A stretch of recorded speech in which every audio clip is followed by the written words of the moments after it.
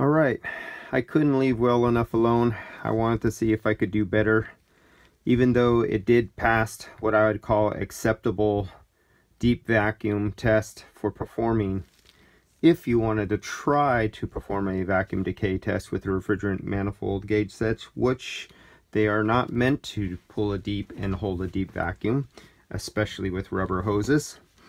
So here we're going through the process of changing the valve. Say you had a leaky valve or you know it's old you've done three four five hundred uh, recharges recoveries checking out and you used your valves and you started getting leaking valves because the o-rings started to get a little nick on them a little wearing out so I took three of them out to show you and I'm going to take one out on camera uh, to show you the whole process but here they are taken down. And as you can see I removed the o-rings out of the out of these. And you could see the grooves where the o-rings sit. And you could see the little slot to fit this part right there. So if you look at that it fits right inside there and it grabs right on there like that. And that's how those hold together these little uh, clip rings here. Hold on the valves. And if you come over here when I turn the valve around you see right there? You see that little clip? That's the rounded end of the clip. So you can't take these off until you take that clip out. And I couldn't find my pick tool so I'm using something else. And can I do this on camera one-handed? Didn't think of that. Yeah. let's um let's put a knife through my hand on camera okay hold on I got it I forgot I had this tripod thing here And let's get that. And get that down. Nice and shaky. Best cinematography of all the YouTubers. Yeah, right. okay. There's no editing. This all goes one take. Any of you guys who've watched me before know how I do it. I don't clean things up. I don't edit things. And if I leave a mistake, I leave it in there. And um, there we go. You see how that goes? That clip just came out. Make sure you can see it. Okay. Make sure it's focused right there. And so the clip came out. There's the clip. Comes off. Uh, 9 16ths or, or 14 millimeter. Made in Germany, 14 millimeter. Break it loose.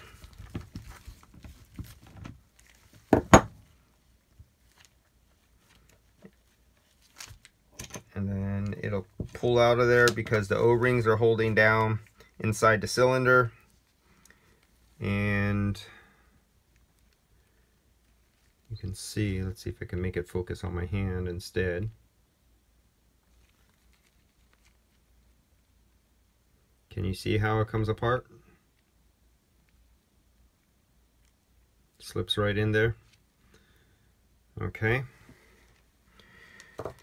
so then I take a toothpick and I worked the O-rings. It's going to take me, I got to do a lot of fumbling to get this off of here in front of camera and trying to look through the lens so you could get it. But ba basically you get the gist of it. Put a little lubricant on there. I have a lot of lubricant from my dielectric grease. Spark plug grease, same thing. It's silicone. Not silicone, the hard silicone. It's a silicone grease. And so slipping one of these off with gloves. And there we go. So we got our O-ring off. So in reverse order, let's take one of the ones I already have all the way off. See, there's no need for you to see me do all O-rings and everything. I get a little bit of silicone grease. That's way more than enough that's needed. And uh, put it down in the groove. Now I have it in the groove. Pick up an O-ring. Boom, got an O-ring. Slip it on top. Use your fingers, get it with your little bit of a fingernail that's left over. And I have to put it down. I can't do it up in camera. And see. So I'm just grabbing it, I'm pushing it down, and I'm just rolling it around. Boom. I just got one on. Then same thing, pick up an O-ring, put it on there, and you'll slide one O-ring right on top of the other, and it'll go into the second groove.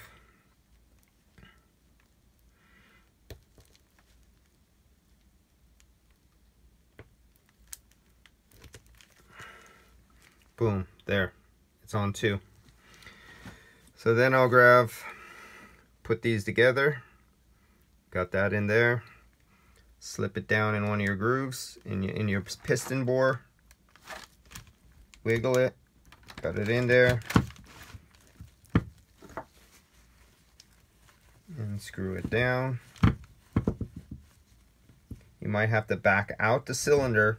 You might have to hold the nut part while you rotate the cylinder back. So you see how I'm unscrewing? I'm unscrewing the threads coming up so it'll back out from being down in the bore because I want to tighten it. Because as you tighten it, as you tighten up that gap right there, it pushes the whole assembly down. And if this is already screwed all the way down, you'll bottom it out. And when you try to tighten it up, you might strip out your threads or bust something. So back out the piston all the way back and then put down your threaded body down as you can see the gap disappear there. There we go. We're just touching. Now that won't leak. It's not how tight. It's the O-rings. The O-rings on the cylinder touching the outside of the cylinder and the O-rings in the groove. It's what's doing sealing. This being tight is not doing any sealing. So you do not have to over tighten this. This is only brass. You only want it to hold. You don't have to go uh, King Kong on it there. So just a light tightness because it's brass and it doesn't seal by how tight it is. I'm just giving it an error. If you guys are used to aluminum and brass, you should know not to tighten. I'm just giving a look at if you could see this movement. See that? It just barely moved. It was already all the way down. That's all I did. Do not over tighten because it does not seal by how tight it is. And then you go in reverse order. We got a black cap. It's one of the center ones. You could see the little flat spot inside there. You see inside. So you line up your flat spot to on here. It drops down. Grab one of your pins find a little gap. Yeah, there it goes. See that little opening right there? That's where you'll go in at. Go like this, put it in there. That's it. It's now on. And now you have an operating cylinder that has been lubricated with silicone grease. I will retest this if you've seen my last videos before. Uh, you seen I was able to go all the way down to 10 microns, 8 mic 10 microns on uh, the 552i Testo. This went down to 10 microns, and the BluVac went all the way down to 8 microns. While I had it hooked up on both of the cylinders right here like this, I was drawing the vacuum through here, and I put it on the BluVac software, uh, and I time graphed it overnight and I showed you from when I started the vacuum pump at night to the morning how far the vacuum fell and then the next day I turned it off and I grafted it all day long and you got to see the vacuum decay coming up. So we're going to see if there's an improvement over yesterday when I performed the vacuum decay to today. So now I'm treating it and I'm putting silicone grease which always took care of all the Fieldpiece problems with leaks and uh, my old Testo 470 and any of my previous Testos I had, what was it, um, before the 470, was it a 323 or it was really early, the really, really early first digital uh, set of gauges I bought from Testo, I don't know if it was like 15 years ago or so, uh, before the 470 ever came out. And uh, yeah, any leaks were always cured with this when it came to uh, vacuum leaks. So that's it. Not much to show. It's not rocket science. Don't be afraid of it. Uh, if you start noticing any refrigerant gas bypassing, or if you're trying to do your nitrogen pressure decay test, and you're noticing you're losing leaking, even though if you plug off the ends of your hoses, like you wrap your, put your hoses into the ends, and you're still uh, losing, then take your hoses off, whether it's vacuum or whether it's nitrogen pressure decay test, and only test your gauges only with no hoses on them. Put a little silicone grease or nylog right at the end here and cap all your fitting ends. Draw vacuum or do pressure and see if just your gauge all by itself can hold a vacuum or can hold, uh, say, high ni uh, nitrogen pressure decay test, say 400 psi or so. Um, test your gauge without hoses on it. C cramp them off, close all the valves, and then let it set for a vacuum decay test and the nitrogen decay test. If it passes, that's good. If it doesn't, it's either leaking by the O-rings and it's coming up the shaft, or, where are we at? You see that little white pad there at the bottom? That's a nylon pad. Uh, many years ago, they used to use Teflon. Teflon was very good, but Teflon got damaged very easily. And uh, Teflon also embedded. I don't know if you could see it in here. And let me try to get the right angle. Let's see if I could focus it. I'm trying to find if you can see the little indent in here. So you can see where it hits. Okay, maybe taking that shadow off. So what I'm trying to show you is a close-up. There it goes, right there. You see that ring? That is the only sealing surface. That is where it actually seals. Come on, focus. and I had it focused now it's it's going white on me ah, there, there it goes it's it's the auto exposure that's killing me this is only an iPhone 6s plus. It's uh nothing fancy but you can see that little ring on there. That is the sealing surface. And what would happen is small metal particles debris from burnt out compressors would get embedded right across that surface right there. And when you would shut down your valve and go to seal, it would embed inside the soft material. And it would cause a bypassing leak between one side and the other side. One side's refrigerant, and then you have the other side going out to your hoses. And so you would get something embedded in here or damage the Teflon. Well, they made a sturdier material that's a nylon based or a nylon mix composite. Can't remember which one this is. And this is much more durable, but you do have to tighten it a little bit more compared to the old Teflon ones. So those fit down into, if you can see, there you go. You get to see the cylinder. And the O-rings slide up and down on this surface right here. That long big surface, that's the surface the O-rings go up and down.